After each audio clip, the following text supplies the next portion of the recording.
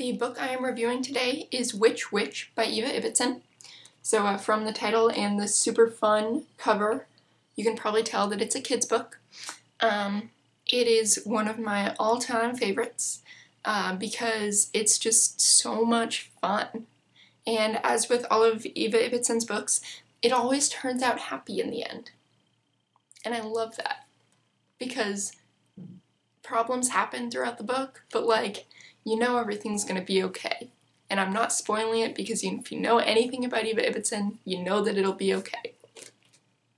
So this book is about um, a bunch of witches who go, it's kind of like Bachelor-esque in that there's this wizard who uh, is looking for a wife and so he like reaches out to all the witches in the world or in the country or whatever um, and he has a contest to find out which witch will be his wife. And there's this one, there are all sorts of witches who are very different and quirky in their own like unique ways and there's one who's a good witch and that's really bad because the wizard is like a horrible wizard. I'm just like so happy to be talking about this book. I don't even know what to say about it, but I love it because it's just so positive and happy and just a feel-good book for me. Um, so the main reason I'm doing this book as my review is to talk about Eva Ibbotson though, um, because she is, or was, such a cool person. Like she wrote such good books. If you ever get a chance to read any of the books she's written, go for it. I don't care if they're kids books. I don't care if you're like total adult. Read the book because it's just so heartwarming and happy and it just makes you feel so good.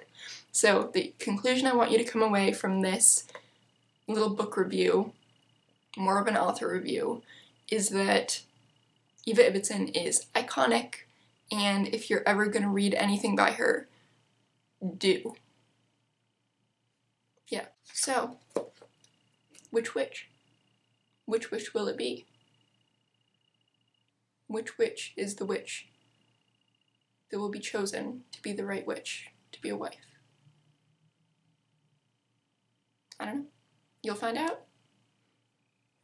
And now it's time for the riddle. So last time I did my elephant counter riddle, and now I'm going to continue that. So this is an elephant counter. It's actually also a dog toy, but we're going to call it an elephant counter. It counts elephants. 27, 36, 84, 72. How many elephants did I just count?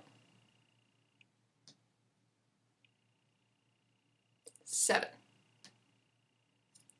Why? Okay, let me know in the comments if you have any ideas, and if not, I will continue next time. Go read Eva Ibbotson, because she's awesome.